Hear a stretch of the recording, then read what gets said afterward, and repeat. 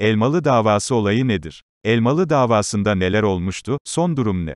İşte detaylar. Kamuoyunda, Elmalı davası, adıyla bilinen, geçen yıl Antalya Finike'de iki kardeşin uğradığı istismarı konu alan davada son durum merak konusu oldu. Haziran ayının son günlerinde davanın sanıkları anne ve üvey babanın tahliyesiyle gündeme bomba gibi düşen Elmalı davası detaylar araştırılıyor. Didem Arslan Yılmaz'ın Vazgeçme isimli programına katılan anne ve üvey baba, Elmalı davası nedir sorusunu gündeme getirdi. Elmalı davası sanıkları kim, neden tahliye edildi? Geçtiğimiz yıl Antalya'da meydana gelen 6 ve 9 yaşındaki iki kardeşin cinsel istismarının davasındaki tahliye kararı sosyal medyada gündem oldu. Elmalı davası ile ilgili Aile ve Sosyal Hizmet Bakanlığı'ndan da açıklama geldi. İki kardeşin resimlerle çizerek anlattıkları istismara ilişkin davada sanıkların tahliyesi tepkilere neden olmuştu. Elmalı davası sanıklarının televizyon programına katılmaları davayı yeniden gündeme getirdi. Elmalı davası nedir? Antalya'nın Finike ilçesinde, anaokuluna giden 6 yaşındaki kız çocuğu GEG ile 9 yaşındaki ağabeyi İEG'nin, anneleri Merve A ve üvey babaları Rahmi A'nın yanı sıra, dayıları ve birkaç erkeğin daha cinsel istismarına uğradığı iddiasıyla soruşturma başlatıldı. Çocuklar, dayak ve istismarı çizdikleri resimlerle de anlattı. Babaanne G, S.'nin şikayeti üzerine ifadeleri alınan anne Merve A ile Rahmi A ise suçlamaları reddetti.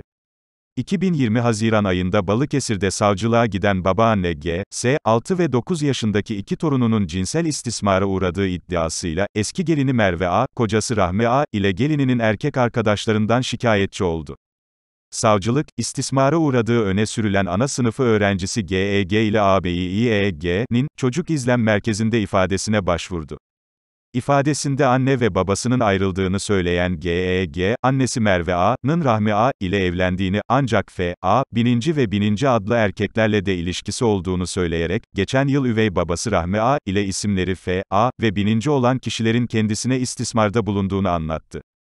Elmalı davası sanıkları iddiaları reddetmişti. Korkunç olayda sanıkların ifadeleri de ortaya çıktı. Sanıklardan Merve A. ifadesinde, çocuklarımın dolduruşa gelerek yalan beyanda bulunduklarını düşünüyorum. Suçlamaları kesinlikle kabul etmiyorum. Tahliyemi ve beraatımı istiyorum, dedi. Diğer sanık Rahmi A. da, çocuklara biz bir şey yapmadık.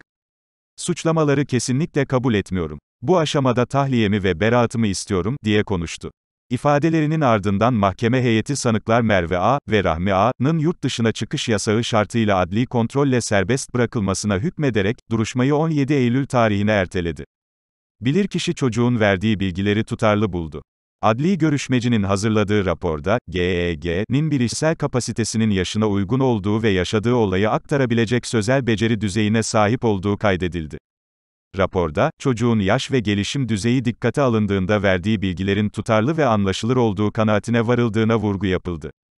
Cinsel istismarı resimlerle anlatmışlardı. Küçük kız ve ağabeyi, başlarına gelenleri, deftere yaptıkları çizimlerle de anlatmaya çalıştı. İki kardeş resimlerle nasıl dayak yediklerini ve istismara uğradıklarını gözler önüne serdi. Bu resimler de soruşturma dosyasına girdi. Anne ve üvey baba tahliye edildi. Geçen yıldan beri süren davada soruşturmanın adından tutuklanan anne ve üvey babanın tahliye edilmesine karar verildi. Suçlamaları kabul etmeyen anne ve üvey baba tahliye talep etti. Elmalı Ağır Ceza Mahkemesi tarafından adli kontrol şartı ile tahliye edilen anne ve üvey babaya ilişkin Aile ve Sosyal Hizmetler Bakanlığı da açıklama yaptı. Bakanlıktan tahliyelerle ilgili açıklama. Aile ve Sosyal Hizmetler Bakanlığı tarafından söz konusu davaya ilişkin yapılan açıklama şöyle, 6 Mayıs 2020 tarihinde iki kardeşin istismara uğradığı şüphesi oluşması üzerine konu kolluk güçlerine intikal ettirilmiştir. İlk görüşmenin çocuk izlem merkezimizde yapılmasının ardından çocuklarımıza psikososyal destek verilmeye başlanmıştır.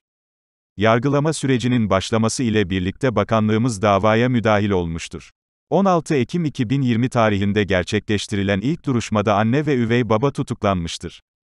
5 Ocak 2021 tarihinde gerçekleştirilen üçüncü duruşmada sanıkların tahliyesine karar verilmiş, bakanlığımız avukatları karara itiraz etmiştir.